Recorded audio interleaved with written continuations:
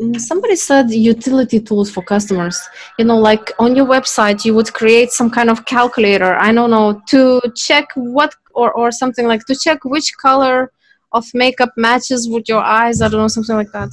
So now could you tell us some ideas for for the tools like this? Maybe let's come up with a product which is a um, nail polish could you give us just a few ideas of what kind of tools I could, uh, you know, create on my website that would attract potential nail polish buyers?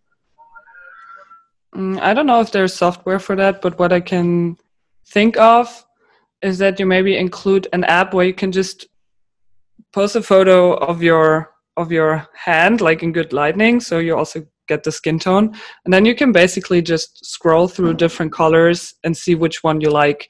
Um, there are also ways on Instagram to do that, but I think it's only for huge brands like Kylie Jenner had it.